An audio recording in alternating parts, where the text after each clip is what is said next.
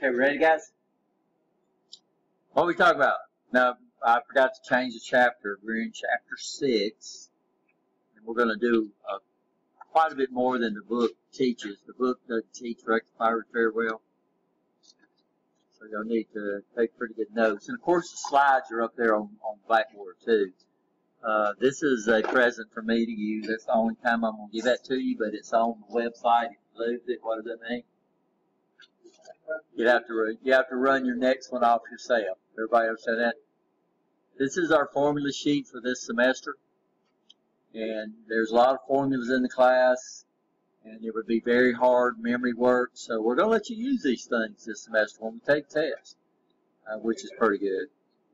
Because uh, you know it's only one term, and there's so much to, to learn about about about semiconductors. Front and back, guys, front and back. So it's pretty good size.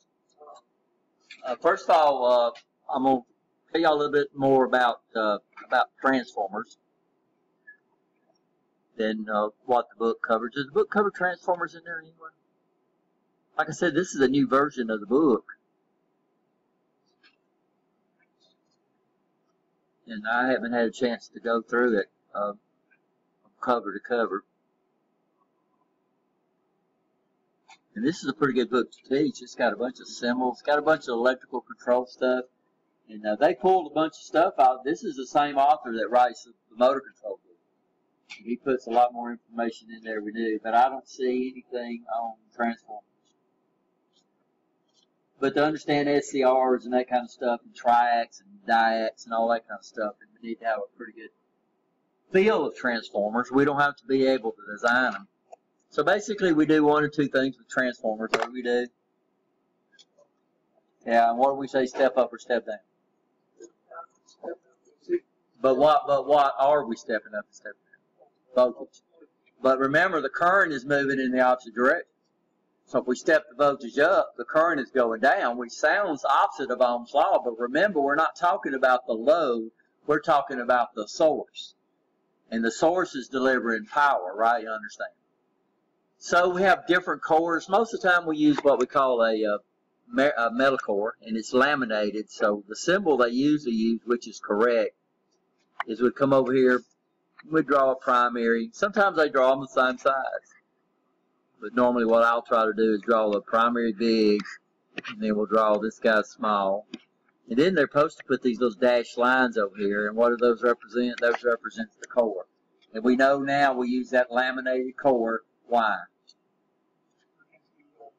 To, yeah, reduce eddy current, to break up that dang big old conductor that would be in there in the center. So what we want that metal to do is we don't want it to be a conductor. We want it to concentrate a magnetic field, right? So we have a we have what we call a primary, and the primary basically is not really defined until you really hook hook it up. Even though some commercial transformers say that, uh, the primary is the the transform the, the, the leads that are pointing back toward the source, right? I understand that. And then what's the other side we call that? Yeah, we call it secondary. And these are the sides of the transformer that are pointing toward the load. That makes sense? Now what we have is well, what we have is what we have a turns ratio. And the turns ratio depends on what the output is to the input. So if I came over here and had just had 100 volts, of course, if I don't tell you it's RMS, it is RMS. And this thing had a had a, uh, a ratio of 4 to 1, then what would be the output voltage? Huh? That'd be 25 volts. So that means for every four turns on primary, which would be the high voltage side, we would have one turn on the secondary. Now most of the time it's to one, so most of the time they'll say it has a ratio of four and you take for granted that the other one is what? One. Everybody okay? Now, we have different ways. We have what we call multi, we have what we call multi-winding transformers. For, no, let's look at the first one first, because that'll explain this. We have what we call tap transformers. So what I might do is I might come over here on the, so if you looked at the transformer up on the pole, what they do is they have multiple taps where they can come in and they can connect the internal line to. Now what they're trying to do on your side over here is they're trying to give you 120 volts AC. Well, the problem is that voltage coming over that line is not guaranteed to be precise, right? Understand? So if you looked at the transformer on the pole, they could hook it up to different windings and change the ratio, right? You understand? To get that as close to 120 volts as they possibly can. But it's not, odds are it's not going to be. I think here we measured, did we measure here? 100, 115 or so volts. Yeah, we measured over here, right? So that's just, uh, NEC calls this the optimal voltage. So instead of uh, instead of NEC, National Electrical jumping all around, they use 120 and 240 for the two voltages. But we know that in real life they could do what? They can vary, right? Uh, I could also come over here uh, on the on the primary on the secondary side and have multiple taps. So what would that give me on the on the secondary side? So let's say I come over here and I had a sec I had a uh, over here as soon as I get my color up there. So I have a primary. I'm not going to draw the core, by the way. It's just, and then over here on secondary, I have a tap right there. I have a tap right here. I have a tap right there. Okay. Well, then I could come over here and I would probably make that guy right there common. And then I would get one voltage right there, right? I get a low voltage right there. I would get a medium voltage right there. And I'd get my high voltage right there. So we can get multiple voltages off the same transformer. Might be. It's just I'm, I did not draw the ratios right. I mean, we could have on, on the on the on the old the tubes, the test tubes. We used to. I mean, the vacuum tubes. We used to fire up the, the, the cathode heater with 6.3 volts, but yet my DC was 250 volts. So we'd have a little old tap down at the bottom of the transformer to get my watt to get my heater voltage for my cathode, and then I'd have another tap way off, and that was a pretty popular transformer because they, because uh, the plate voltage Stanley was at two or three hundred volts up there on the standard radio. I mean, so it got on up.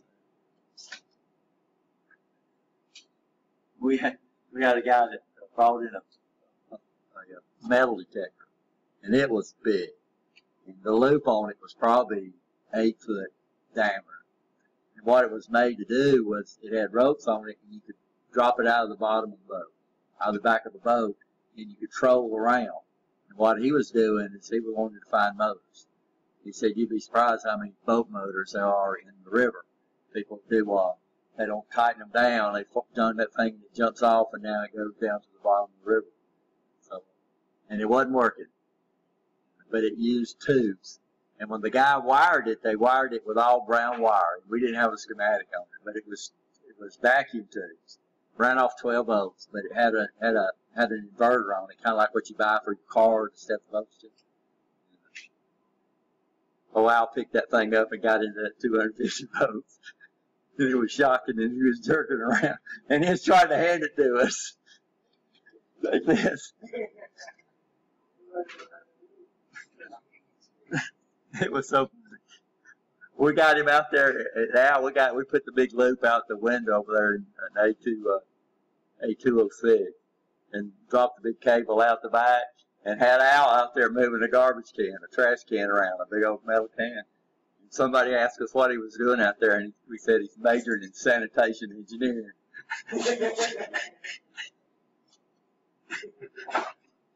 because true story. Al is still one of my best friends. Believe that or not. So the main transformer uh, that we use a lot in power supplies, and we're going to use, and, and this is what Alabama Power uses, what we call a center tap transformer. CT, so we call this a center tap transformer. And what we do is we come over here on the secondary side, on the low voltage side, and we I'm gonna draw it bigger so I'll have enough room by the way because it's a step down transformer and what we do right in the very center we put a tap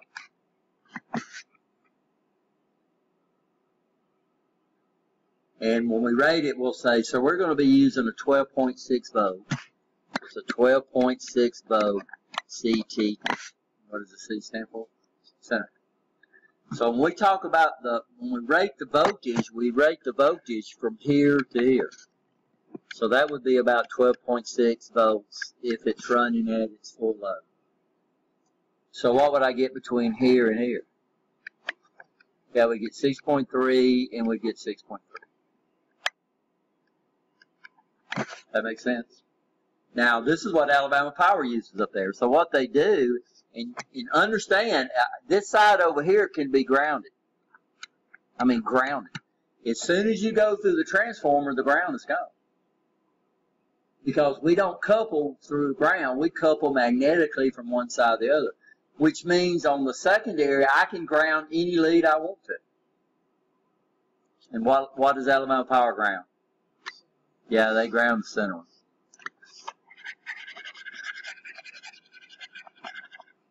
So we come up here and they take this one, it's connected to ground. This is the metal wire coming into the house. So you, you look at your down drop in your house, you got three wires. One of them's a metal wire, that's the one that the other ones are wrapped around, that's your ground.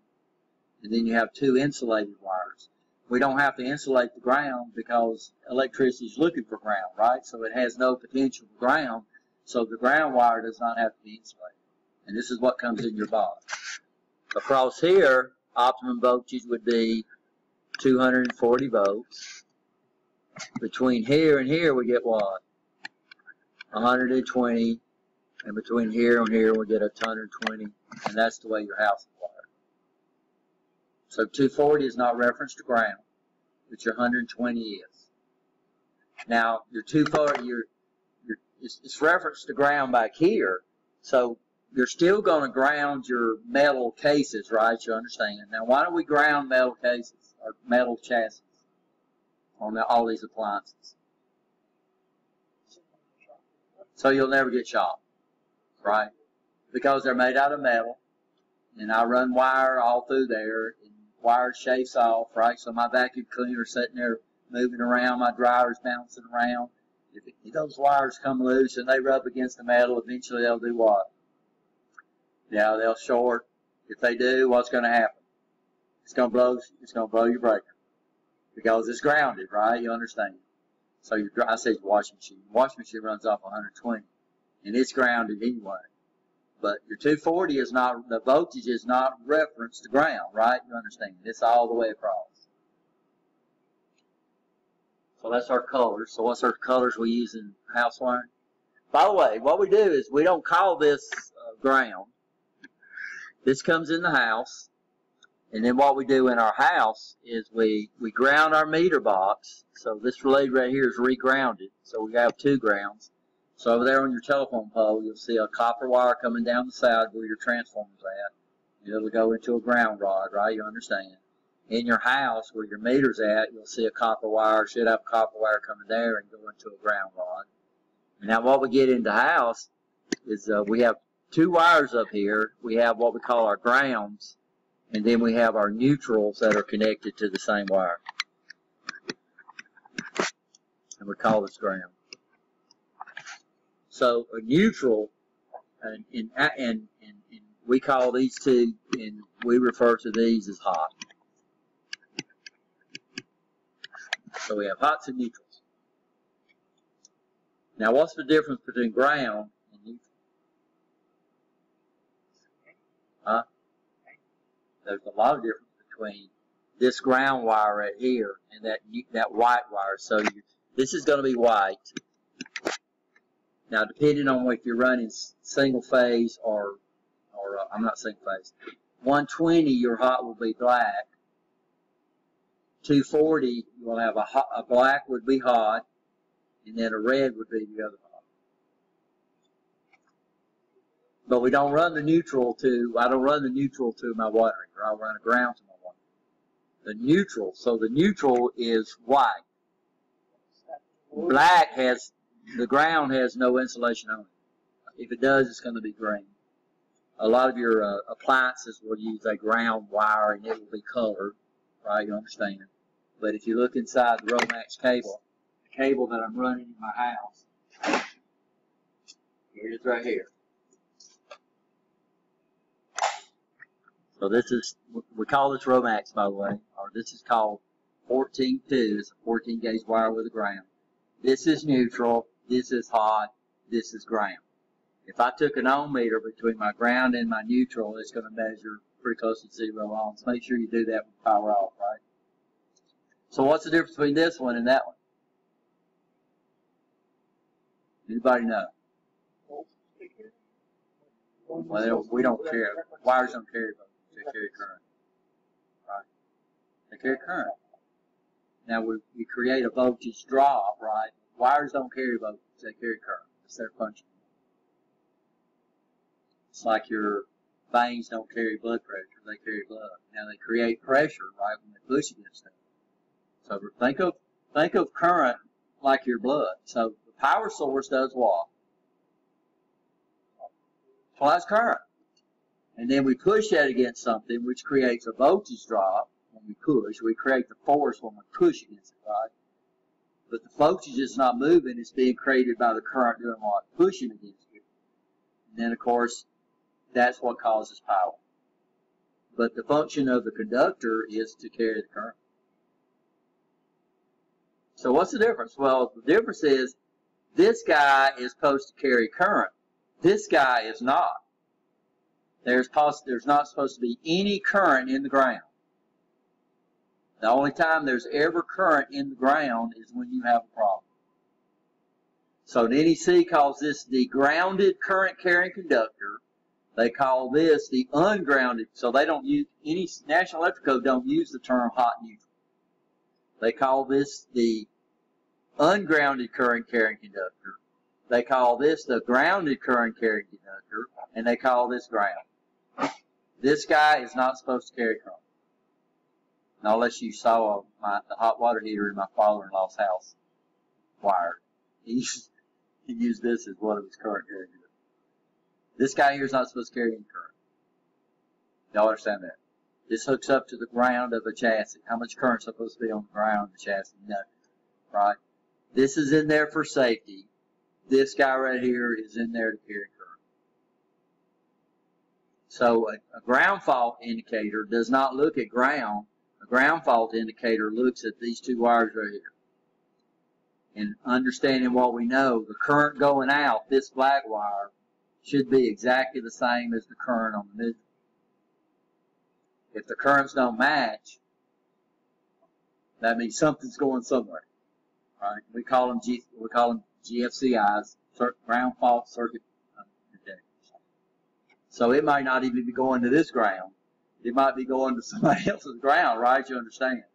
Uh, but it will detect it because these two two match. So current carrying conductor, we call that they call this in the what? We call this neutral. But this is our grounded current carrying conductor. This is an ungrounded current carrying conductor, and this is ground.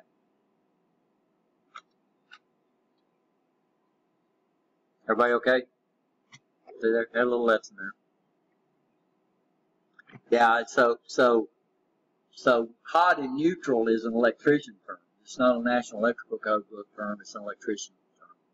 So they call the grounded current carrying conductor. They refer to that as neutral.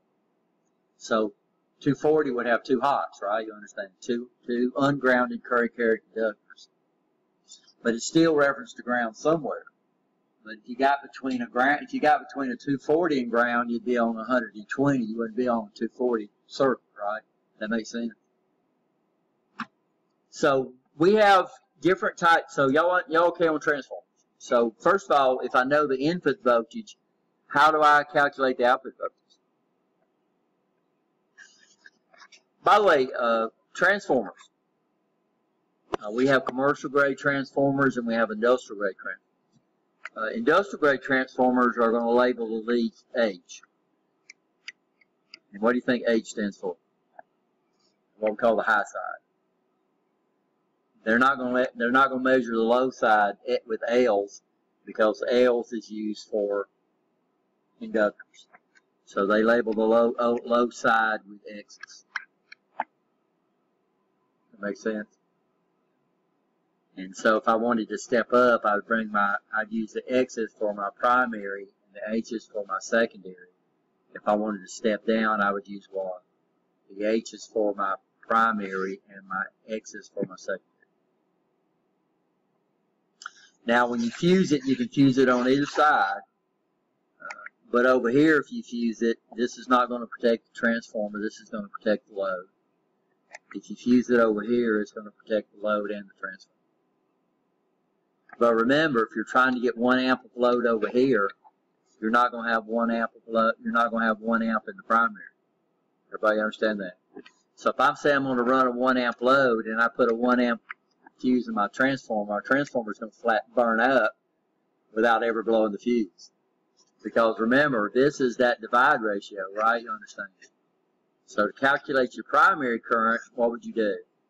You take the power of the out of the output you're looking for, and you divide it by this. You divide, you divide that by the watt, by the primary voltage, and that would give you the current. And then you would decrease it by. Uh, we could look at NEC. It's, it's more than you think. So we don't use that thing. We're going to give more than that, right?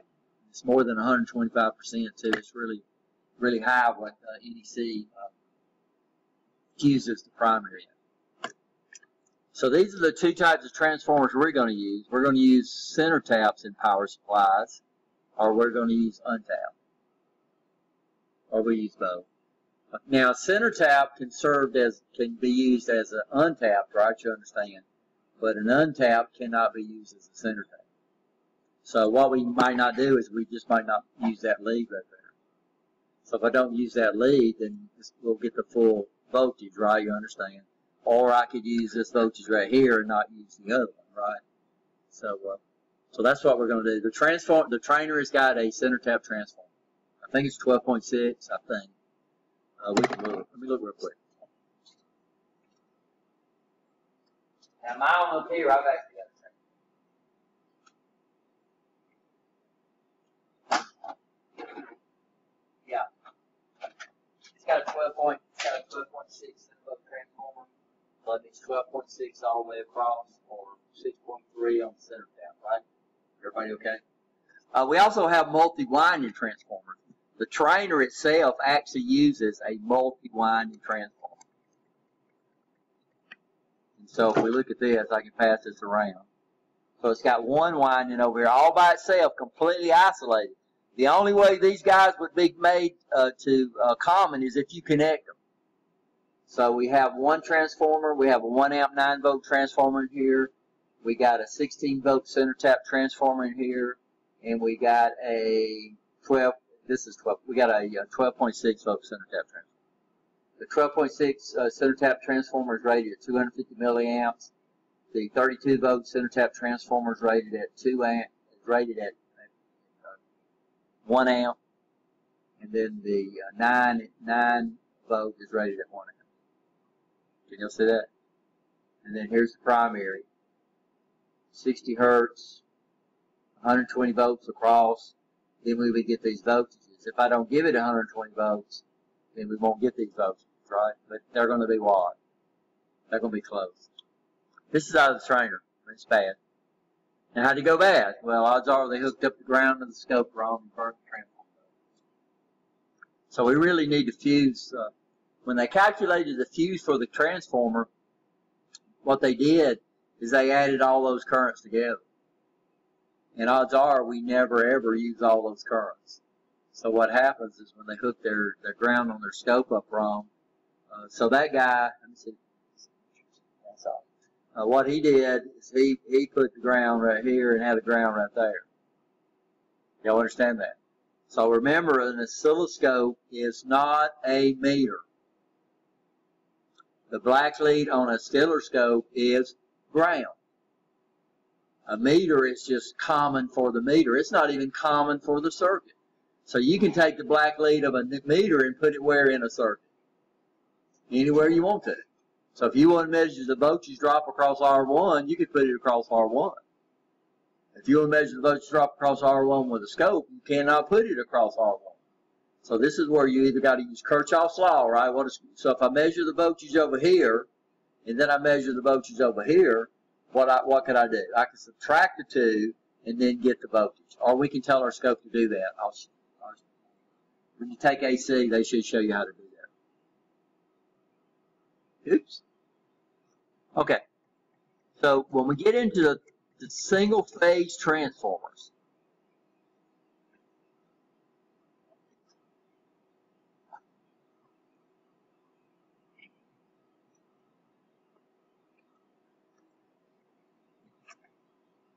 and this is in the book, we have three, three types of single phase transformers. We have what we call half wave, which we've already looked at. So we have what we call what? Half wave. Then we're going to have what we call full wave center tapped. And then we're going to have what we call full wave bridge. Huh? No, it's not a Wheatstone bridge. Yeah, it does, and that's why it's got the name bridge.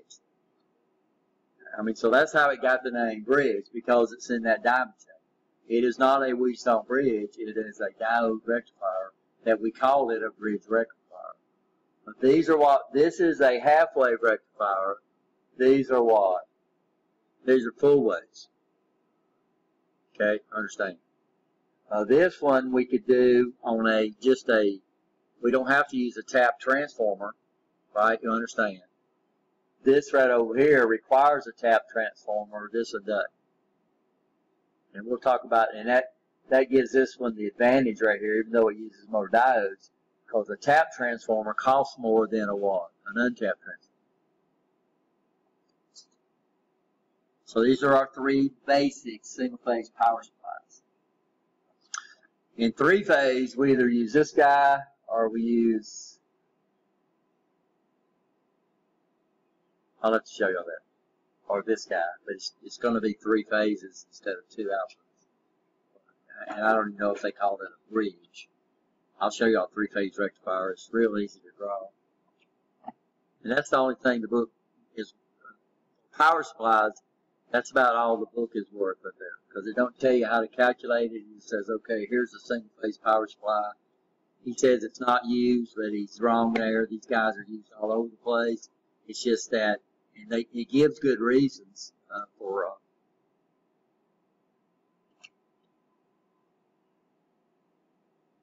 Okay, so this is what we're going to talk about. And we've talked about we've talked about half wave already. Are we okay? So what I've done here is, uh, is uh, and I should take this up, by the way. Where's it? Oh, I've got it. So what I'm doing is I've got a, I've got a transformer up here. Okay, so here's the circuit. Here's the actual transformer. It's a 12.6 volt center tap transformer, but we're not using the center tap. So the center tap is this blue wire, and I don't have it connected to anything but we'll connect it later. So what I'm doing is I'm using the two outsides.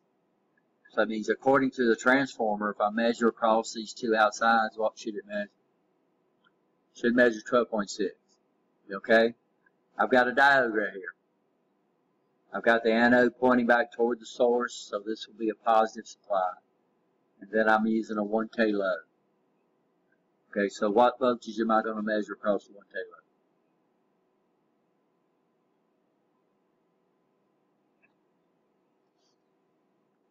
We've already showed y'all how to do that. We did it last class. I should be able to take that now and run it.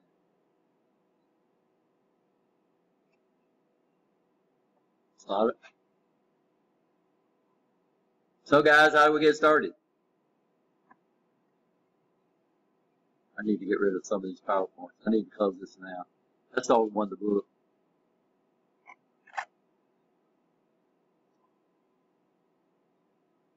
What's mine? Okay.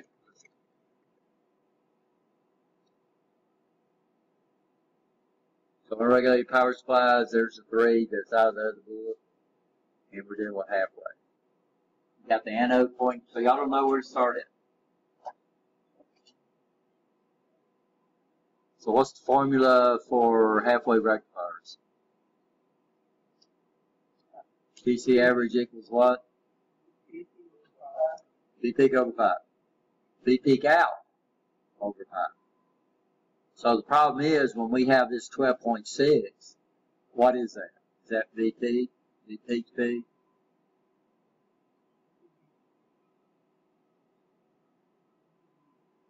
Come on, guys, help me out. It's neither one. It's RMS. If I give you an AC voltage, it is RMS. If we don't say it's V peak to peak, and we don't say it's just like if I if I give you the number ten, it, is that negative or positive? If I don't give you the sign, we assume it's positive. If it's negative, I tell you it's negative. If I don't tell you negative, we we use positive, right? You understand that? So in AC, if I give you a voltage in AC, and I do not say peak, and I do not say peak peak, it is RMS, period. So when we threw all these votes, so when I say that 12.6 volts, that's what? RMS. But my formula says what? My formula says the peak out over 5. Okay, guys, so get me started. First of all, I've got to find VP. Okay, so how do I find VP? Divided by what? Okay, so I'd say V peak secondary. We call it V peak secondary because that's what I should, if I put my scope, that's what I should measure. Should be what? Should be 12.6 divided by 0.707.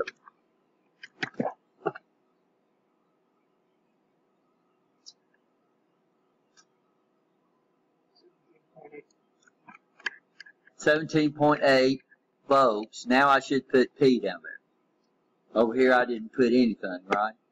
Okay. But the problem is this don't say VP, this says what? VP count. So what's VP count equal to? Yeah, it's going to be 17.8 minus 0.7. Okay, so that's going to be 17.1 volts. Everybody okay? Now I can calculate my average output. So now I can say, okay, my DC, my volts DC across my 1K resistor should be what? 17.1 divided by 3.14. About 5.5 volts. And that should be volts DC, right? Okay. So now we know about what's supposed to happen. So now when I come over here and take my meter, and I'm not even going to measure the secondary voltage, when I take my meter, which is right there, and I'm going to take my meter, I got jumpers on it, and I'm going to put it across the output. And where's my other meter lead? That's the red one, black one's green. I've got them on the same page. Okay, so here's my load. I've got it on. Why is my meter showing zero?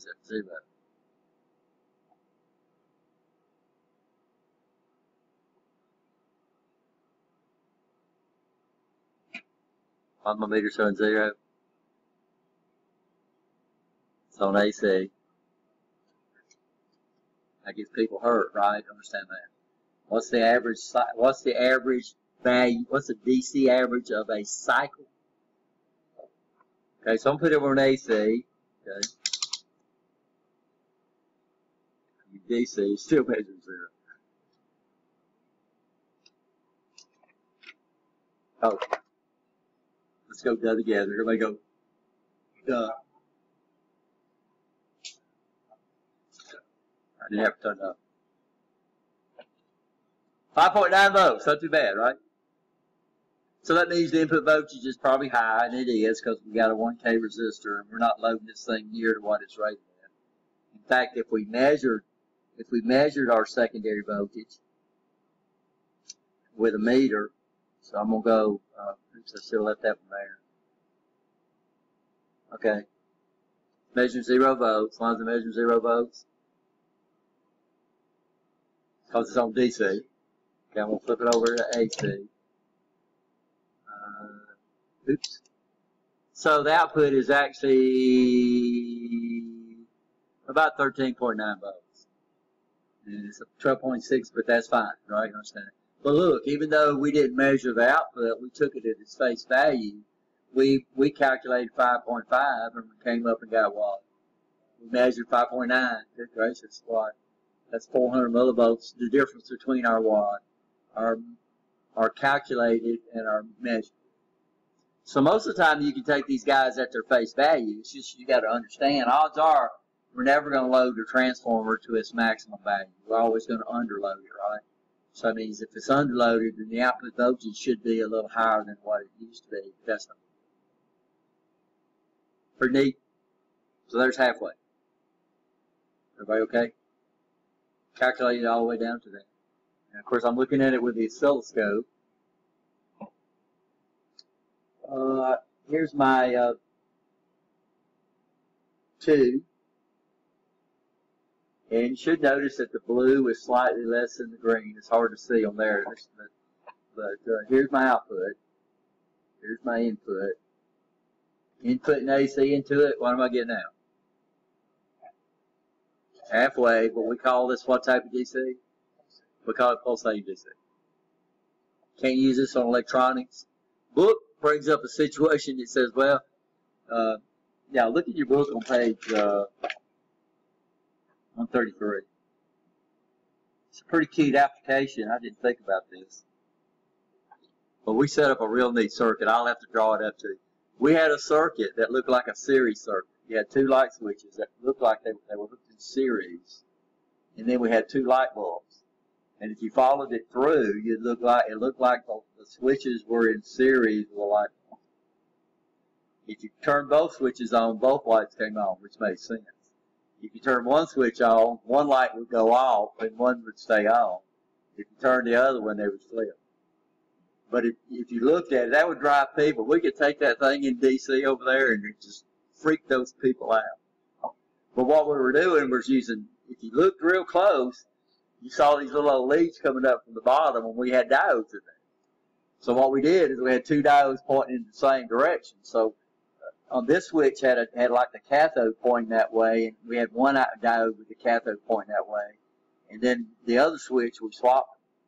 So what was happening was the first one it would buy it would when this one was closed it would bypass the switch, right? You understand? It was really neat, and it would bypass the light and go to the other to, the other light. And, uh, and what we were doing is we get we were giving each light would only get half wave, and so they didn't come on near as bright. So if you look at the, the figure on page, uh, on figure 6-4, what do you see? This is a very cheap light dimmer.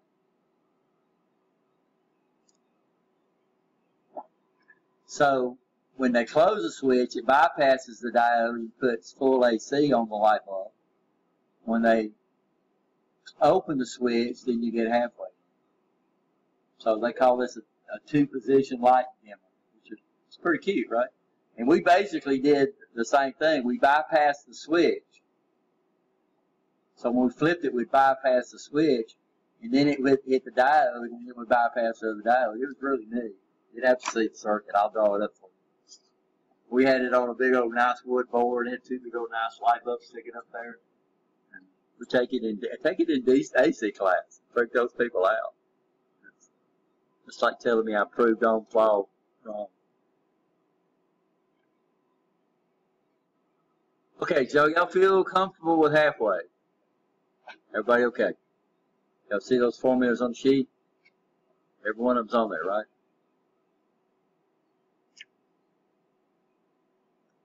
And of course, all I have to do to change the polarity is do what? So this would be a positive supply. Look at the schematic. I know it's a positive supply, uh, but why do I know it's a positive supply? All we have to do is look and see which way the the anode is pointing, or which way the diode is pointing. And if you see the anode pointing toward the source, it's a positive supply. If you see the cathode pointing toward the source, it's a negative supply. But there's no way in the world I can route the other alternation up here without creating a short circuit. So we got to have another method. So how would I make it? So all I have to do is just swap the just swap the diode, right? Everybody understand that? Tell me do it. That's it we get the, you want to see it? Uh, we got real low voltage here, so I'm not gonna.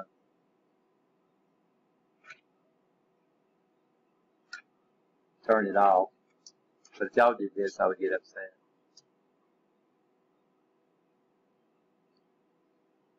So now we have the cathode. We have the cathode. Y'all can see that pretty good. Pointing toward the what? Here's the source. And, uh, so there's my AC still in. Don't need my meter anymore. So here's my oscilloscope. So notice the AC is still the same, but now what do we get now? And this still should measure what? About 5.5 volts. But now it should measure negative to what I call common.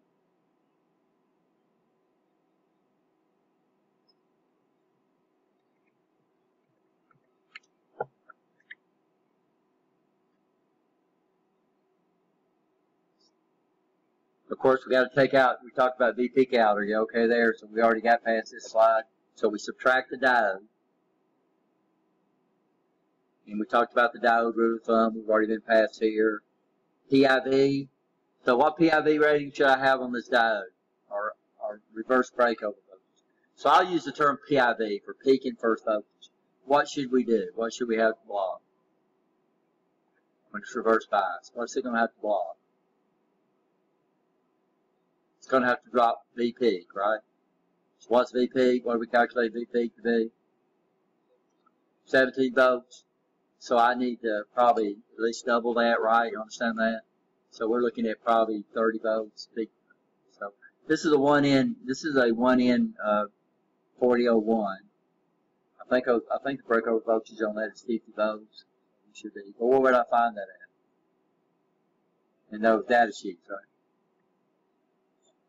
Now later on, when we put a capacitor on here, when we put, um, when we put a filter on here, the diode's going to have to drop peak to peak. Because what we're going to do is we're going to charge the capacitor up to peak, and then when the when the when it goes peak, right, you understand. So half wave it's just peak. Here, if we put a diode in here, it would be peak. Uh, here's negative, half wave. We already looked at that. So here's our full wave.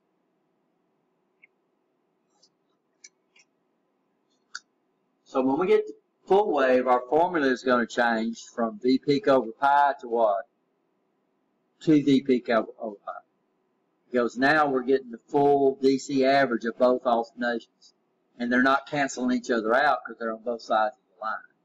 So what we got to do is figure out somehow to steer either the negative alternation to the top or the positive alternation to the bottom, depending on the other. Everybody okay? So you can use this one right here, but notice I didn't put that in my formula sheet at all because this is this guy right here sticks with me because that's what it is. That, so now we know, you know, when we talk about 2 pi rad, we start dealing with on an AC, when we start dealing with the circumference, 2 pi is going to be in there somewhere. and so there it is. There's 2 pi right there, right? You see it in there. So this is what a full wave is going to look like. So we're going to bring our AC in from our transformer or the line. We could bring it in from the line. We're going to bring it through a full wave rectifier, and over here we're going to here is going to be a positive supply. So somehow we're going to steer the, the negative alternation up to the top. Now what we're going to do is first so uh, so here the average would be what? This is V peak out because this is crosshair. So my DC, my volts DC should equal to what? 2 times 15 divided by pi.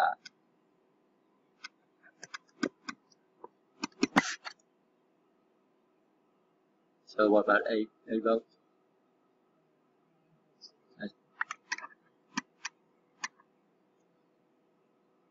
And that's DC volts. So how are we going to do that? Well, the first thing we're going to do is we're going to use a center tap transformer. So we're going to call this a full wave center tap rectifier. So that's the name of this.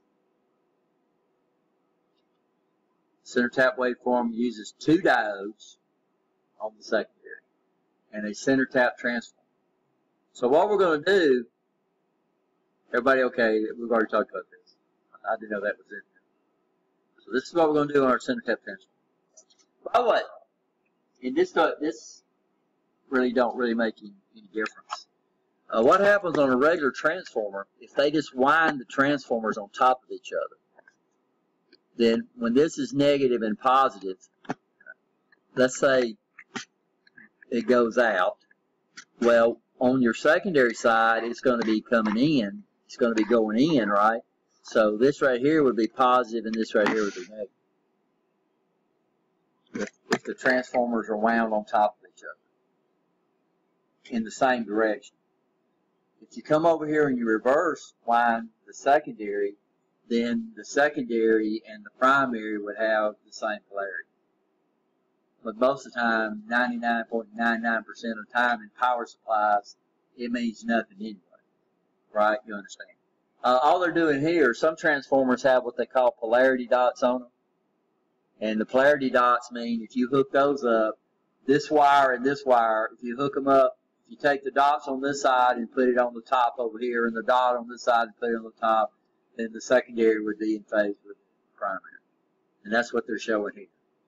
But in power supplies, it makes absolutely no difference that the secondary is positive when the giving you a give is on the negative alternation when the primary is on the positive alternation.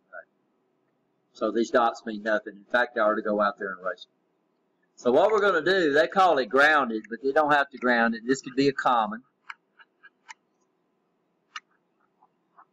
So what we're doing is we're using the center tap as the common. We put two diodes in the other two leads. Here the anodes are pointing toward the source, so this is going to be a positive supply. So that means either I'm going to switch the load across this one, and how much would that be? This is 12.6 volts. We're either going to use this side of the transformer, and this side is not going to conduct, it's going to be reverse bias, or we're going to use this side of the transformer. The other one's going to be cut off. You understand why? So let's say if I if this is positive, what is the center tap relative to that positive? And we're in an instant in time, guys. We're not. This is going to switch pretty fast, right? Let me do a color that's different than what that is. So if this is positive, then what is this going to be relative to that positive? It's going to be negative. Right? You understand? Now, when I get right here, this is down here, so if this is positive, then this is going to be negative relative to its center tap. Right? You understand? So if I follow this guy over, this is going to put a positive right here but I'm on this transformer now. What's this? What's this relative to right there? What's what's common relative to this? It's going to be negative, right? Of course, that's not going to be negative. The negative is going to be down here.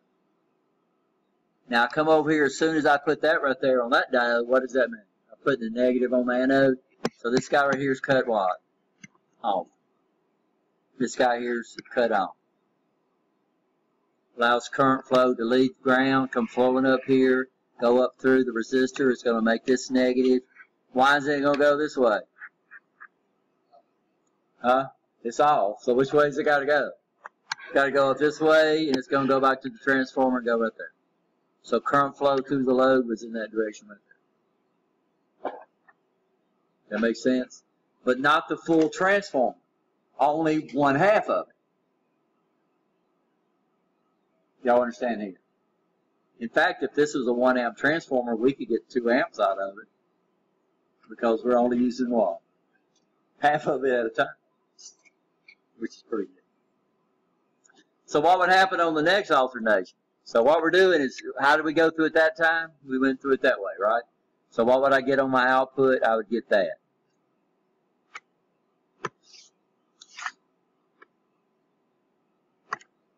So let's change it. So what did we have up here a while ago?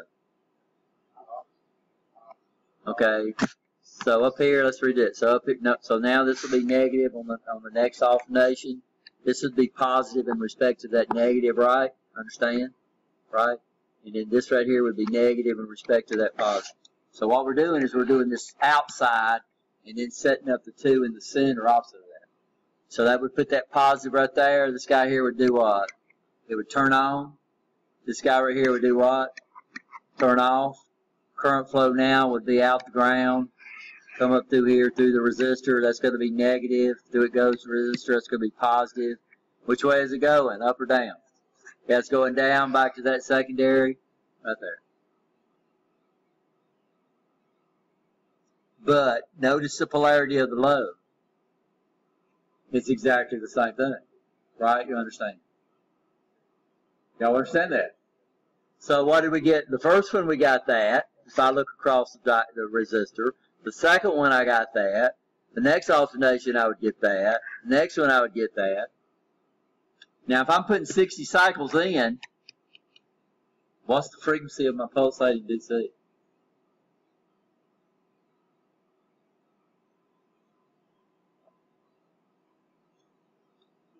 No, this is a cycle right here. Here's an alternation coming in.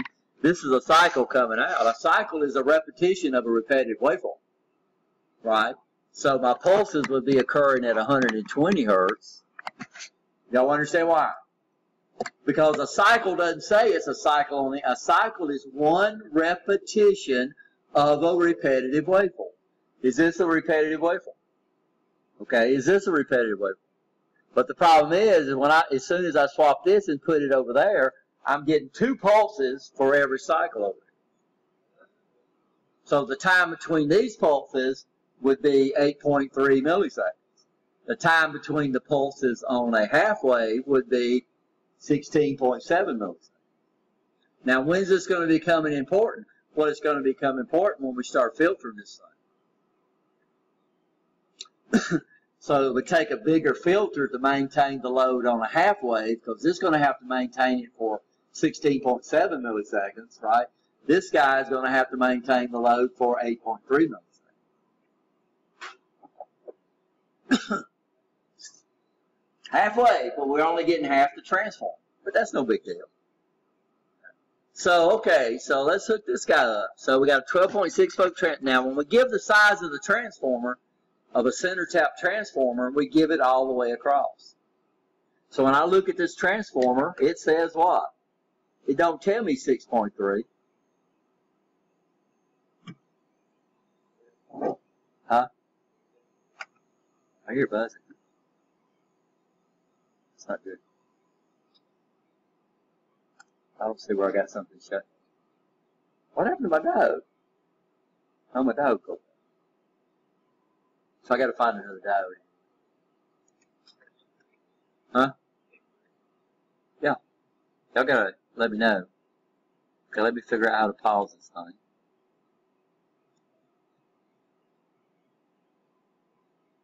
Yeah, let's take a two minute break.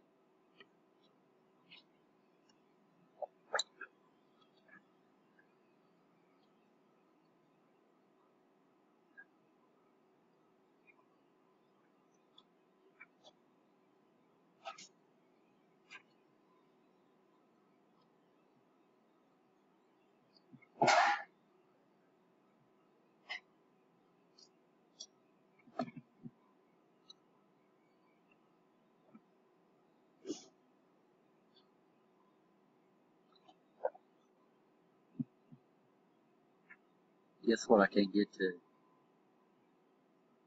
Can't get to my controls to pause my lectures. So what am I? my bad. Let's, let's close this up.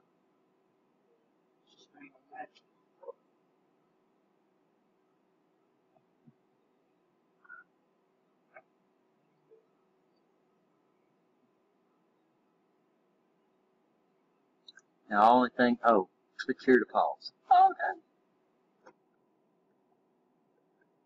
So, now I gotta pause it again.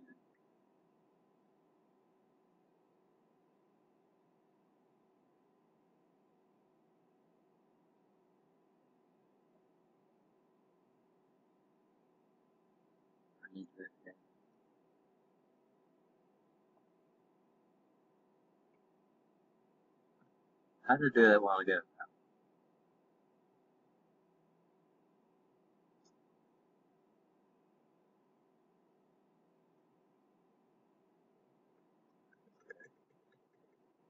Figure it out later.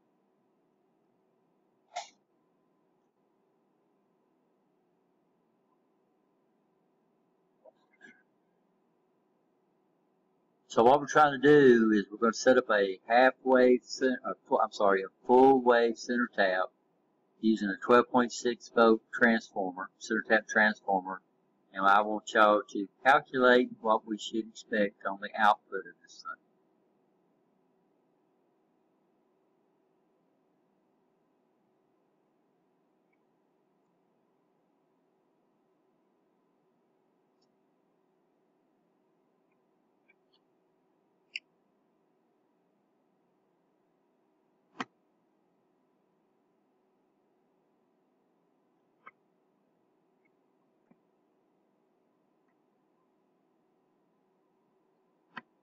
How many diode drops are you going to use? One. Only one diode is turned on. The other one's turned off. So the current flow still only goes through one diode, right? So when you set, when you calculate V peak out, you're going to use one diode drop. What are you going to use for V peak secondary? Got a 12.6 volt transformer. What are you going to use for uh, V peak secondary?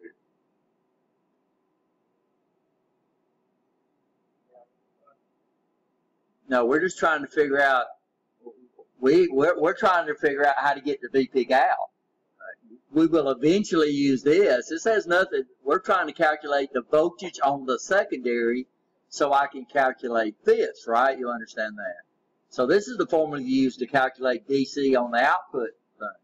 So guys, help me out. What we're going to use to calculate the output. What's the secondary voltage? It's a 12.6. It's a 12.6 center tap transformer. What are we going to use? Yeah, but what are we going to use to calculate VP? I got to stop. I got to start somewhere, right? So what are we going to use to calculate VP? I mean, y'all giving good, y'all giving right answers, but it's not the one I'm looking for. Okay, so let's think about this.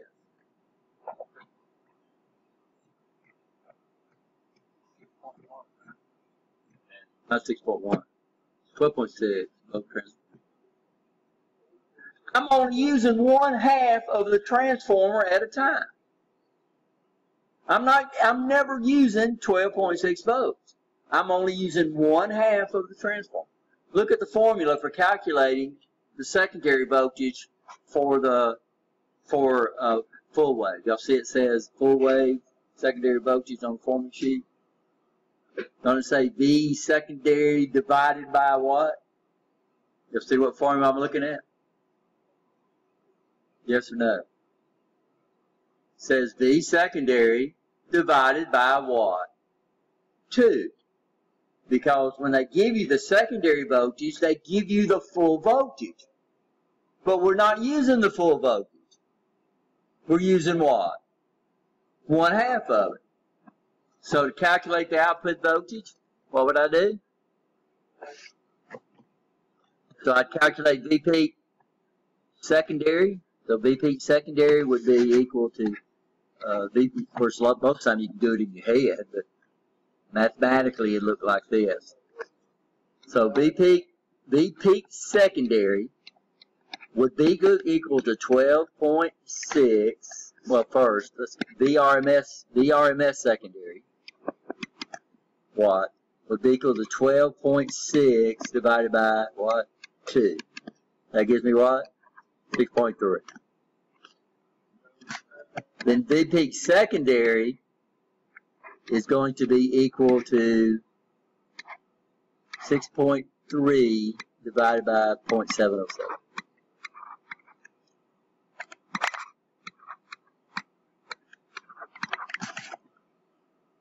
So this is just a formula to me. It's kind of a waste of time. If you understand, you're only using what? Half of the transform. We never use the whole thing at the same time. We do use the whole thing, but we don't use it at the same time. So what we're doing, one alternation, we're using one side of the transformer, which is this guy right here. And how much voltage do we have right there? I have 6.3 volts. The next time I'm using this side of the transformer, what do I get? That's 6.3 volts. Now, of course, if I measure with my voltmeter, it's going to measure 12.6. It's just like if you go to your the output of your transformer. If I measure across my outlet, I measure 120 volts. If I go out on my water heater and measure across it, I'm going to measure 240 volts. Because your 120 volts is only, you're not getting the 240, you're getting what? We're only using, on those power plugs, you're only using one half of the transformer. So even though a, that is a 240 volt center tap transformer up on that pole, right, you understand, what do I get on my outlets? 120. Why? Because it's only connected to one side of the transformer. So your 240 breakers is connected to both sides. Your 120 volt breakers is only connected to what? To one. You look at your fuse box, there's two blades coming down there. We don't have one we can open up, but over if we go over to uh, the, no we can't go over. Have you ever looked inside your breaker panel box and pull the breaker out, you'll see there's two blades available back there. Right? If you hook one on this side, 120, it'll hook into this and 120 breaker. If you do a 200, 120 on this side, it'll hook up this to, to the other 120. If you hook up a 240, it's going to hook up the wall To both of them.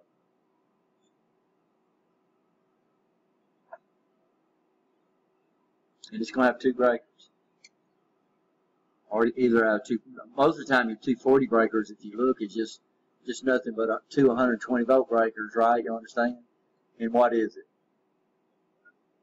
Yeah, they're spaced apart. If you looked at your if you looked at your box, you'd have two blades coming in. This would be one 120. This would be the other. The next one would be another, another. Right? You understand? So a 220 breaker would pop on both of them.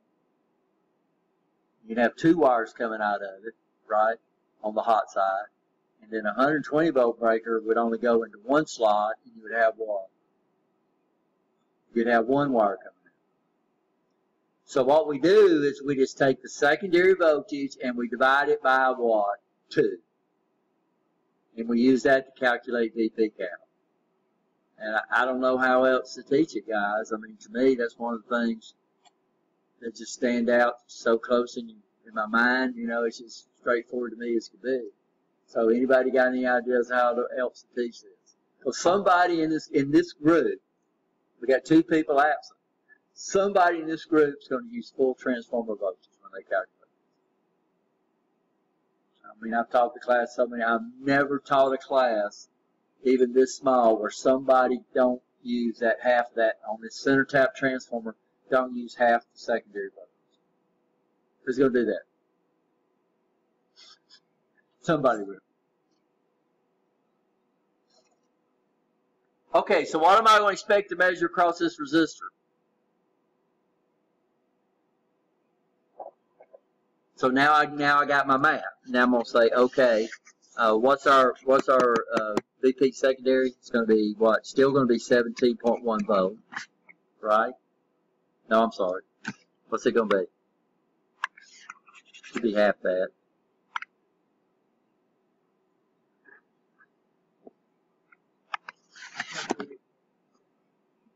So VP secondary is going to be equal to 6.3 divided by 0.707. So VP secondary is going to be equal to what? What's that? 8.9. Should be half of what it was before. VP out, which is what we're going to do to uh, calculate this, is going to be 8.9 minus 0.7. Why don't I subtract 1.4? Somebody's going to do that. Why don't we subtract? They're going to see two diodes, and they're going to say, well, it's 1.4 volts. Because we're only conducting current through how many at a time? One. Okay, so VP out would be equal to what? 8.2 volts. Anybody got anything different, Thomas? Okay. Uh, then my then my volts DC output measured with a meter. Of course, it's going to be pulsating DC. Is going to be two times 8.2 divided by 3.14. 2 VP over 5.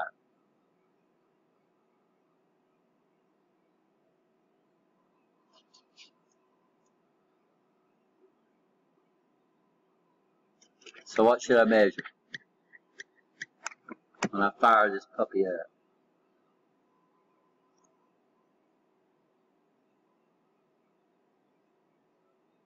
What's that? 5.2 volts. So we're getting the same voltage out while ago, only using half the input, right? Uh, are these diodes in parallel?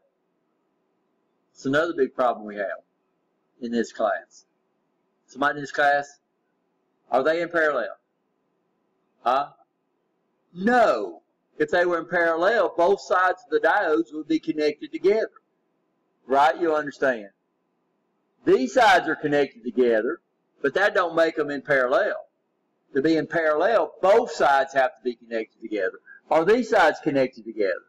No, they're connected to different. These diodes are not in parallel.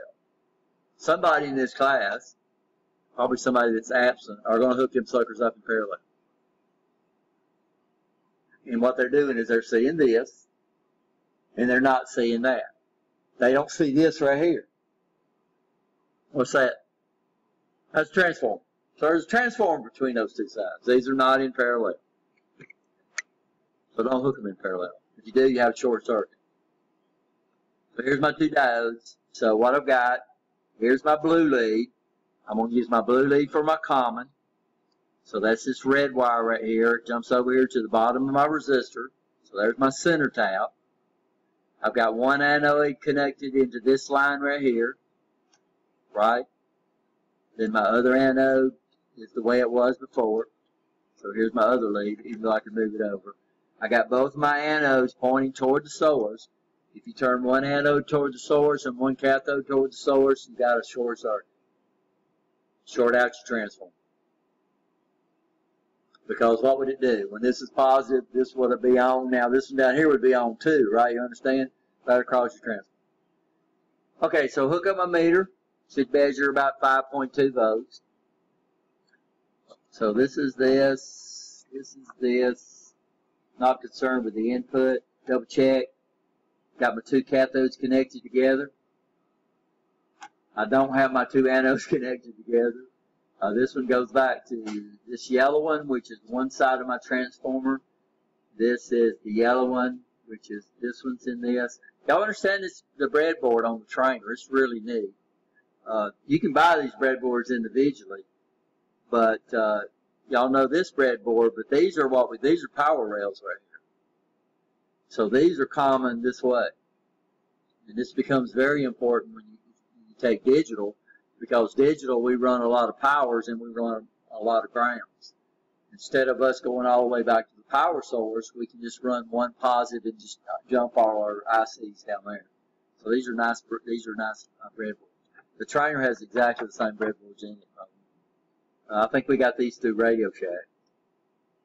And what's nice about the trade that you're in is that not only can it be your career, it can also be your hobby. There's all kinds of stuff do here. I mean, it's neat stuff. Just playing around with stuff. You know, we order our parts from Jameco. You get them pretty cheap.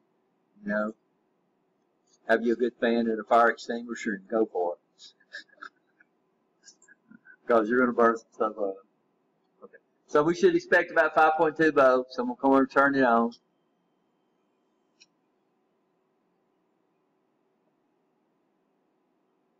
My transformer is making a weird sound, which is not good. Your transformer in this class should not hum. The transformer should not get hot. Uh, what makes a transformer hum if you're pulling a lot of current out I understand that. A transformer, this transformer right here should not get hot. So if it gets hot, what does that mean? Of course, the problem we have, and uh, is that the transformer is inside the train. So what we're doing is we're, but if, if you smell something, turn it off. The biggest problem we have is people getting the grounds on the stove wrong. Because the transformer is, the, the transformer on the trainer, I think, is grounded. We'll have to look at that. If, if the transformer is grounded, if the center tap on the transformer and the trainer is grounded, uh, we won't be able to use it for the next power supply. We'll have to use one of these guys. Because to do a full wave, uh, you, you can't have a ground. transformer can't have ground. And we'll see that in here.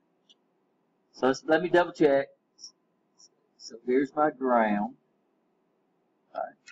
Don't need that in there. Don't need that in there. Don't need that in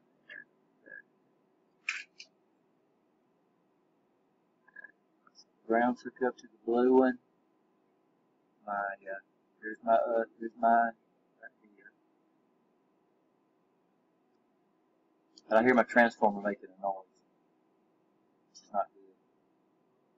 So you shouldn't hear this transformer rum, hum. It's uh, the lowest load that we're making. Now your big transformer out on your pole might hum, right? Because it's designed to handle a lot of current. Anode, anode, cathode, cranes.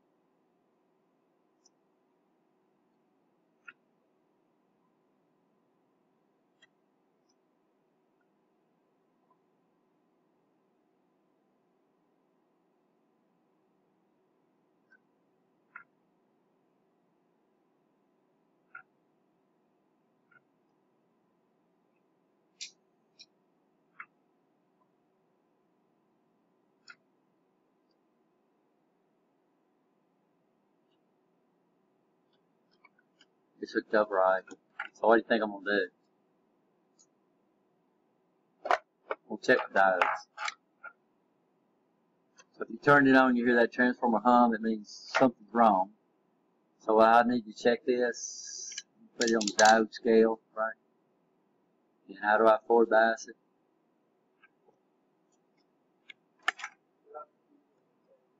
On the cathode. Okay. Positive lead on the anode. That looks good, right? Let's turn it around. I always reverse bias it.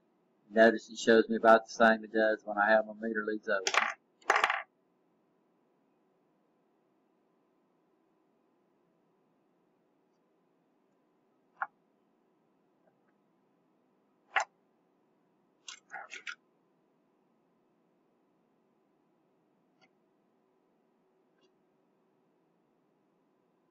That looks good too.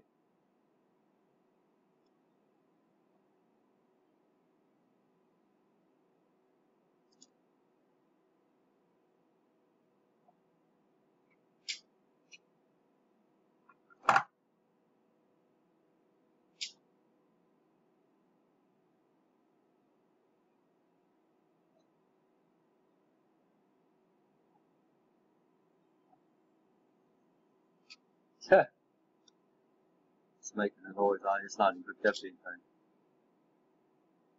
We'll see what it does. It just started doing it.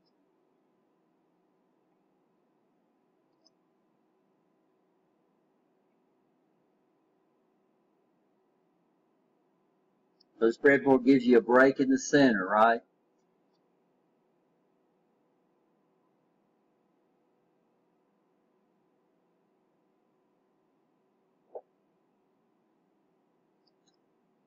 Load.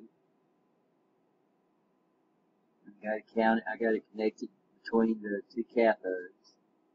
Here's my center tap. Meter back up. Red lead right there.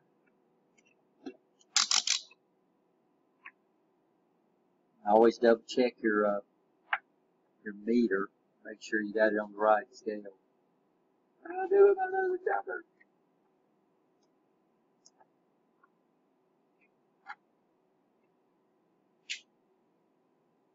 I guess I mean it's working. I don't know what you know here.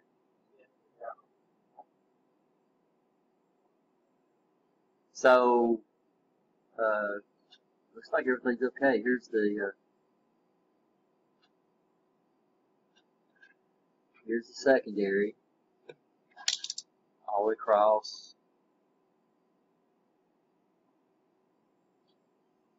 So it's about 13.9, which is what it was a while ago. Okay. And uh, here's my load.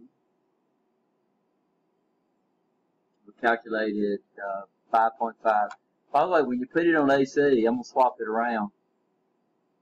And notice it, uh, it measures a voltage because it's seeing that watt.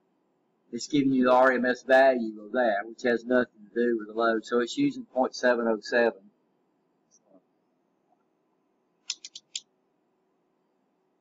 So that's not bad. So we calculated what? Yeah, we measured 5.6. Why is it measuring high? I got my meter swapped around. This is not a negative supply. And I don't see my other jumper. Uh, let's look at it, the oscilloscope. So here's channel 1. So we're going to use this as our common. So now I'm going to put this here. Now my scope lead, once we set this as the as the common, then your other scope lead has to look here, right? We'll hook this across the load. Here's the oscilloscope. Turn the volts down a little bit so we get a better look at it. So let's separate channel 1. That's it. So that's full wave. So full wave. So we deliberately guided the negative alternation up to the top. Flips it around for that diode. Uh, your diodes can be rated. Uh, your diodes are only on for half a cycle. So your diodes are still seeing half the current, right? You understand that? So my diodes, uh, so if this was one amp, I could use, I, if this is two amps, I could use one amp diodes. That's pretty neat, right? Because why? Because they're only seeing halfway. I mean, your diodes see halfway. They see halfway current. The load sees full wave. So this diode's off, then it's off for a half cycle while this guy's on, then it's off while this guy's on, while this off, this guy's on. Now, the, the the uh, the PIV rating of the diode is still going to have to be peak. It's still going to have to block peak, right? But not peak 12.6, peak of what? 6.3. When we filter it, it's going to have to drop peak to peak 6.3. No matter what filter we use. And it's humming up here like crazy, but it's working perfect.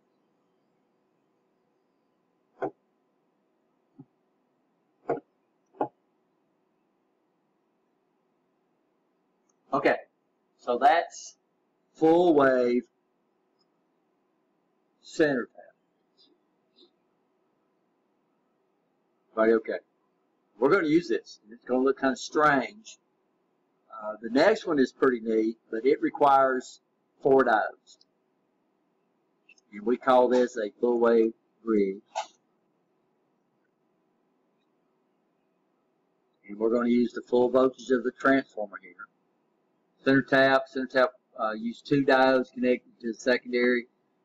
But remember, if you're going to make a negative supply, you're going to have to swap both diodes, right? You understand? Y'all understand if you only swap one, why you got a short circuit? Because that other diode is not going to be reverse biased anymore. They'll both be forward biased at the same time. And it's going to be right across the dang transformer, and something's going to happen. Either the fuse is going to blow, on our trainers. It probably pop the diode. Hopefully it don't burn up the transformer. They cost us 20 bucks a piece. I choked when I thought they were 99. I told you that, right? Uh, this is a good picture right here. Shows you uh, each cycle. Well, we already did that. PIV, right? Oh, that was wrong. So what? Uh, so what? What happens is this has got to be twice. Sorry, I told you wrong. So what happens is when this is negative, right? So that would be this guy's seeing the negative peak. But what's on the other side? the positive peak. So it means the PIV rating on a full wave would have to be peak to peak. So y'all tell y'all wrong, right? Y'all understand? Because when this is positive, this is negative, which makes this positive, which makes this negative. Well, this positive, right, you understand, would be sitting on this point right here. So that pulse would be sitting right there. Well, what's on this side? The negative. So that means here we would have to do uh, 2 PIV, but it's still going to be, uh, so here uh, we would use 12.6, and what would that be? Uh, divided by 0.707. So what would that be? No, that's wouldn't be 12.6. So it's going to be 6.3. It is, but it will have to divide by what? 0.707. And what's this going to give me?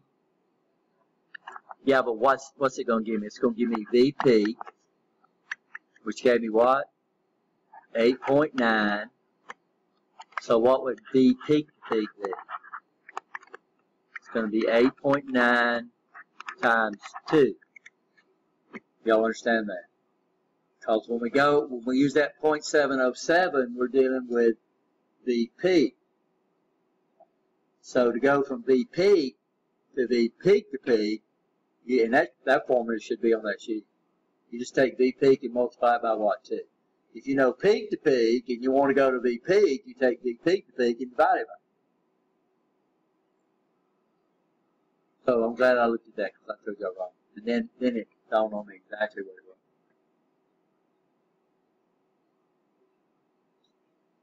Everybody okay on turns ratio?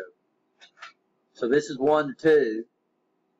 So we got 25 volts peak to peak in. What would be what would be the peak to peak out over here? Huh? No, the the two's on this side. So what we're doing is we're taking the output on the high side, right? You understand? So here we're stepping up. So what we're saying is that we don't necessarily have to step down. We could also do what? step up. And that's what we have on this, this robot right here. This robot runs off 440. We do not have 440 in this building. We got 210. So what do we have? We had to do what? We had to step it up, right? 420. That's fine. Okay, y'all understand that. So we had to step it up. So we have two step-up transformers. You see the transformer for the uh, for the ABB. It's over here on the floor. The transformer for the big FANUC is upstairs in one of the rooms. So we got two transformers over there running two of our robots. Actually, we got more. All these robots right here, that's all these robots right here are 240 robots. So if I looked at the uh, the, 80, the Motoman, we'd see a big gray box behind it. What's that? That's a step-up transformer. If I look at the FANUC, there's a box back there. What's that? Step up transformer. If I look down in the bottom of the KUKA down there, there's a box in there. It's a what? Step up transformer. I say step up every time. I meant to. So we do step up. We step up sometimes and we step down. What's the advantage of high voltage?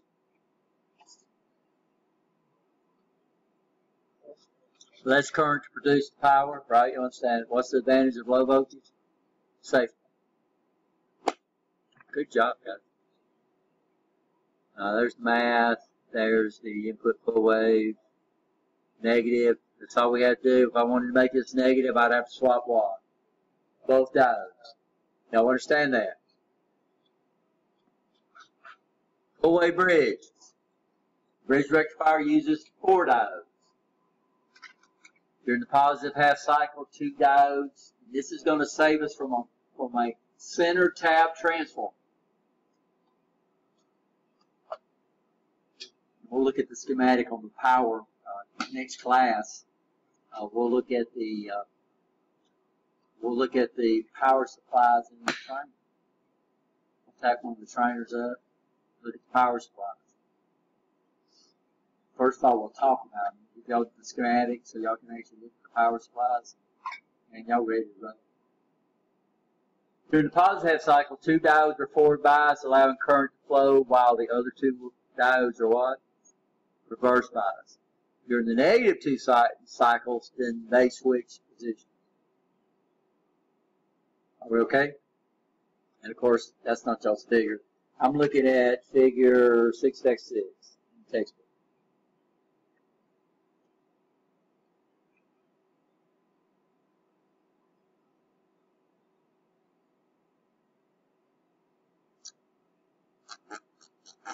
So the trainer, we have both negative and positive DC, right? So you know in our trainer, we've got a negative supply and we've got a positive supply.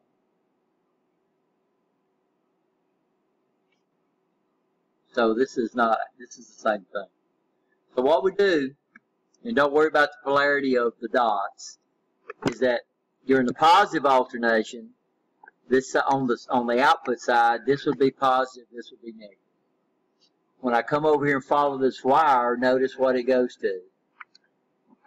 It goes to an anode and goes to a cathode. So I'm going to take that positive and put it on both of them. Which one's forward biased? Oh, positive, I'm going to take that positive and put it on both of them. Which one's going to be on? Which one's going to be off? Yeah, D1's going to be what? Um, on, D2 is going to be off. Now we could trace this back all day long and we'll find it's going to, the other side's going to be negative. So here we go. What's going to happen? So current, let's go this way. So here comes this guy, right? So this is negative. That's going to put a negative right there, and it's going to put a positive right, negative right there. So which ones are going to be turned on right here? So this has got a negative on the anode. This guy right here is going to be what? Off. This guy's going to be what? On. Here comes our current.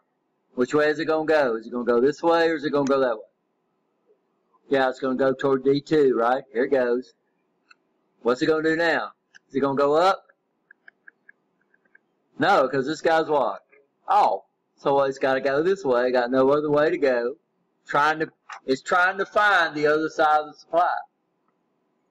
Okay, comes down, comes out our ground lead, comes over here. Y'all understand that is that is a wire there. Uh, what's the purpose of that symbol?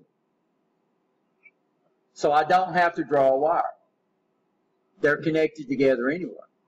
And that's why we come up with some of these symbols. So that ground wire and that common wire is in there so I can eliminate a bunch of wires in the diagram, right? You understand that? But there is a wire there. This happens on me all the time. I thought they were connected together in the trainer. I love that. So don't say that. Well, that's not true. Y'all can say it. I'll just tell another class. So here we come. So this would, bottom would be negative. If the bottom was negative, what would the other side of the uh, resistor be? It would be positive. We hit right here. This guy's not going to go this way because that's where it's coming. It's not looking for this side. It's looking for the other side, right? You understand? It's looking for its positive.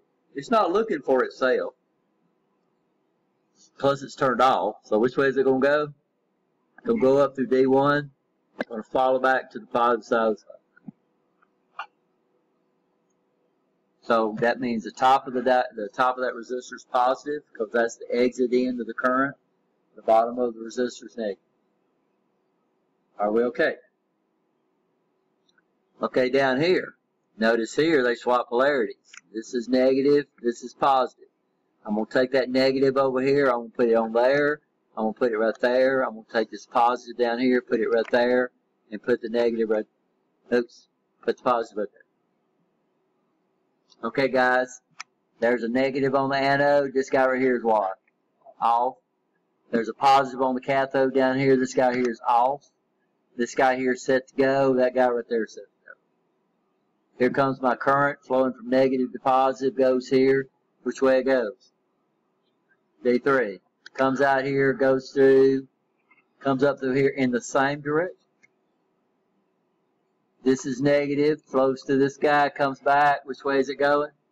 It's not going to go through D1. It's turned off, but it wouldn't go through D1 anyway because it's going back to the polarity it came from, right? You understand? It's looking for the positive. So which way is it going? Got D4 back to here. There we go. Went through it in the same direction. But we don't need a center tap transform. So what you find out, you said, but it takes two diodes. But you'll find out it's a lot cheaper to use two diodes than it is to buy a center tap transform. Y'all understand that? So this guy's used all over. I mean, all the place. We can't use a grounded secondary because we're going to have to use this over here as our common, right? You understand? And your common is over here. It's not on the transformer. So we'll have to figure out if the uh, if the if the transformer on the trainer is connected to common. It's real easy to do. We'll just take a meter and put it between black between the center tap of the transformer to the ground. If it measures infinity, then we're okay. If it's not, then we'll have to use one of these guys. And we got enough of them in there.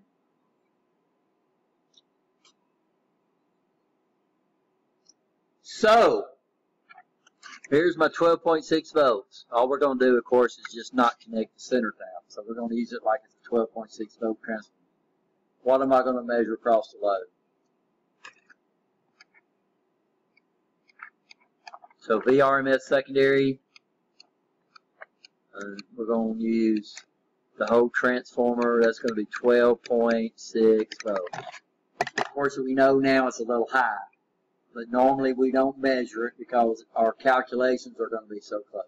Guys, figure it for me. And I'll hook up the circuit.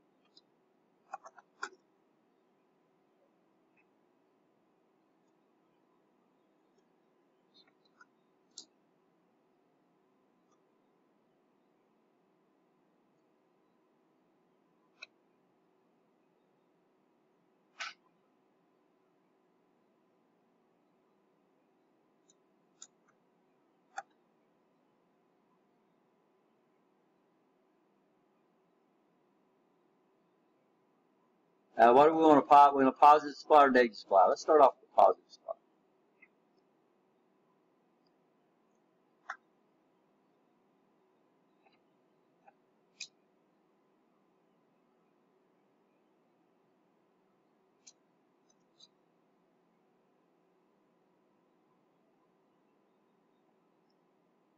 Okay guys, I got the circuit wired. So I wired the circuit. You got it calculated yet? I cheated. Well, y'all not gonna be able to cheat when I cheat.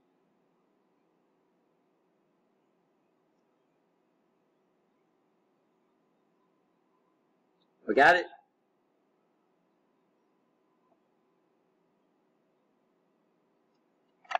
So VP secondary, VP secondary would be equal to uh, 12.6 divided by 0.707 because we're using the whole secondary, right? Uh, this is center tap, but I'm just not going to hook it up. I'm not going to. You don't have to use center tap, but I lost the advantage of a four-way bridge. But you know, we're we're doing labs anyway. Okay, so what would be peak secondary be? What's that? Yeah, 17. What? 82. Uh, V peak out, which is going to be on the di diode side, is going to be 17.82 minus what? 1.4? Why? Because you're going through two diodes, right? Uh, so V peak out would be equal to what? 6 watt? 40, 16.4. Okay. So, uh, volts DC is going to be equal to 2 times 16.4 divided by 3.14.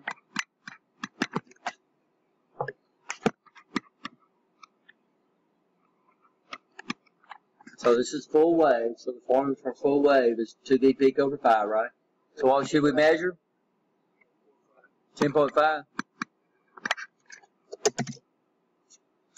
Now this the wave bridge is so dang popular and it's used so often that they integrate it into a package. So this is how I achieve it. Let me pull that out first and show it to you. So this is a bridge rectifier.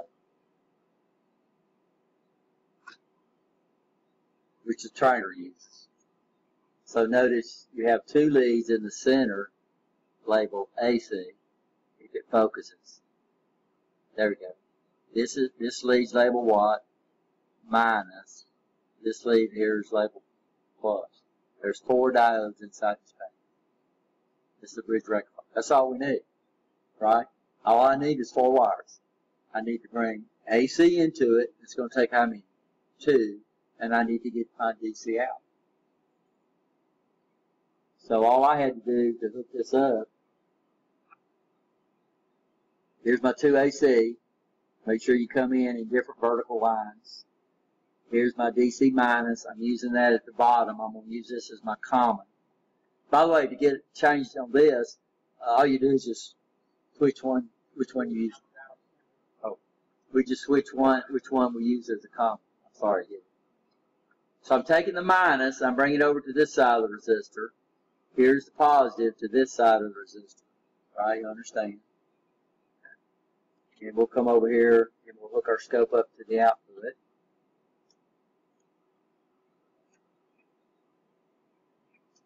And the problem is, is people try to wire the thing like this. I'm going to show you the way it's usually wired here in a second. And it's a lot easier to draw too. That dang diamond is not easy. And uh, where's our meter? I'm going to take my meter. And I still don't see my other jumper. Here's my scope. We won't look at the input anymore. We know what the input looks like now, right? And I couldn't look at the input anyway. Why can't I look at the input with my scope? Because I'd have to move my ground, I'd have to put a ground on this side. I cannot do that. As once as I put that black lead right there, then everything's got to be referenced to that, right? You understand that? So here we go. I'll turn it on.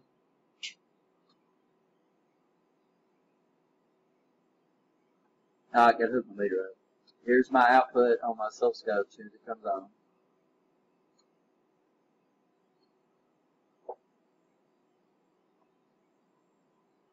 not showing me.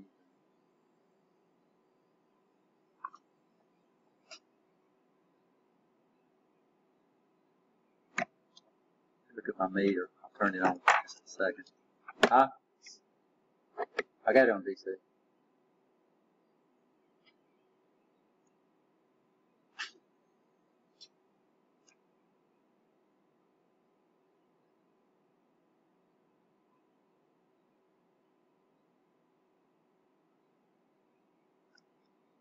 So I got AC, oh I see what's going.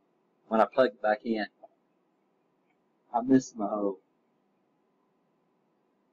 my AC spread, my AC spread, I had them inside, I was inside.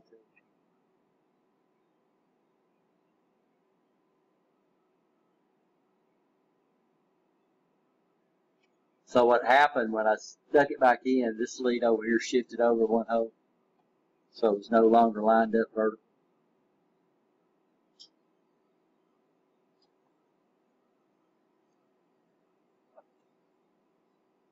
So there's my DC, measure 11.3, what did we calculate? 10.5. And then there's my output. Now my scope's not synchronized because I'm triggering on the channel. I'm synchronizing my scope on the yellow channel. And my yellow channel's not hooked up to anything. So what we'll do is we'll come over here to the trigger menu over here. And then we tell it right here where it says my source of my synchronization is channel 1. Uh, I'm going to change this over to channel 2. And then we'll move we'll move the white line up. See the trigger level right there? And now it should freeze. Here's zero volts right there. Everything's positive and the voltage is measuring a little high because the output of the transformer is a little high, right? But how much did we mess it by? So just using the face value of the transformer, uh, the 12.6 volts, we came up with 10.5. We're actually measuring what, 11 point, what say?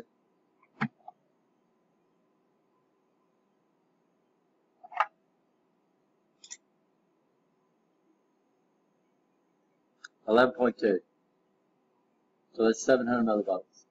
Different between our watt, our calculated, and our measured. So if I wanted to be perfectly accurate, I would take my voltmeter and I would measure the RMS output of this guy right here. And then when I measure the RMS, I would use my measured value instead of my value. But why? It's just like DC, you measured all those resistors. Now, when you measured all those resistors, you were trying to prove Ohm's law. But now we understand tolerances, right? And we understand our math is perfect, but our circuit components are not. But that math is close enough that if you use color-coded values, you use rated values, you get close enough so you know if it's good or you know if it's bad. 700 millivolts, different between calculated and measured. So that means this guy is doing exactly what he's supposed to do, right? So what we'll do next class is we'll, we'll hook up the bridge. I'll show you a better, easier way to hook it up instead of trying to do that. And then once we understand that, then I can show you all three-phase, three-phase DC power supply. You can put a three-phase full-wave, full-wave bridge power supply, and you don't even have to filter that sucker because the other, the other, the other phases fill in all the holes. We don't get pulsating DC out of three-phase with a full wave bridge. We get DC. Now it's still unregulated DC, but it's DC. So uh, I'll show you. We don't have any three phase down here. You can see how it works. So what happens on three phase is what this phase fills in the gap between the first plate phase, right? Does that make sense? And then the next phase fills in that gap. So we don't have pulsating DC. And that's one big advantage of taking uh, three phase to DC. Single phase, we're going to always have to do what? We're going to always, somehow we're going to have to fill in this gap. If I'm going to get DC, I'm going to have to fill in this gap. And that's what the filter does. Three phase, you got that other phase coming here and doing what for you? Filling in the gap. And it does a really good job. It gives you really good DC. There's a lot of stuff out of DC stuff out of US Steel that ran right off the three phase line. Especially big DC motors. So there we go. So what do we do, guys? What do we talk about? I know it's time to go. What do we talk about? Half wave, full wave center tap, and full wave bridge. And what do we mean by full wave? We get both alternations. But notice, if I measure this time between this cycle and that cycle, it's going to be 8, 8.33 milliseconds. Because it's running at 120 hertz, where my input sine wave is running at what? 60. Y'all understand why? And this is going to become important, especially if you're going to build your own power supply when you calculate that filter. Because on a half wave out, on a half wave uh, power supply, the filter is going to have to fill in for 16.7 milliseconds, right? You understand?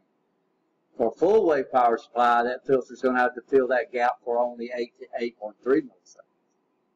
So these in, in half wave, we're just going to try to get DC out of DC, not pulsating DC, unregulated DC would take a lot bigger filter. Okay, guys, see y'all. Y'all have a good break.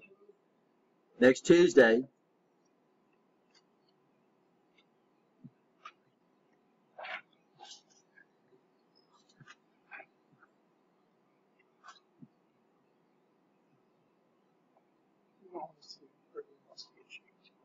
No, we don't do further engagement. We do, we don't do further investigations, but we do do the checkups. So when you encounter a checkup, you'll turn that in, but you'll turn that in by itself. Don't attach that to any lab. Remind me to tell everybody. Turn this off. Now I got to figure out how I got out of this thing while ago.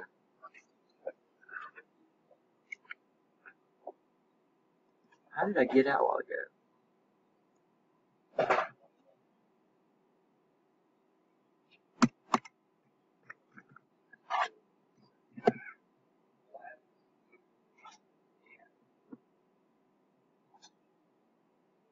We sign off the last circuit. I think I've only signed off one circuit. I did put a date on y'all, right?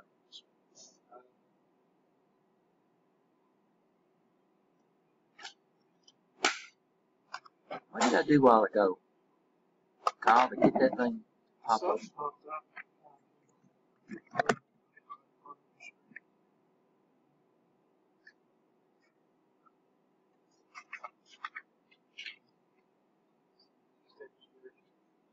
Okay, well, I popped on my icon at the bottom of the screen. Well, Oh, this one. Ah, I got it. That's it.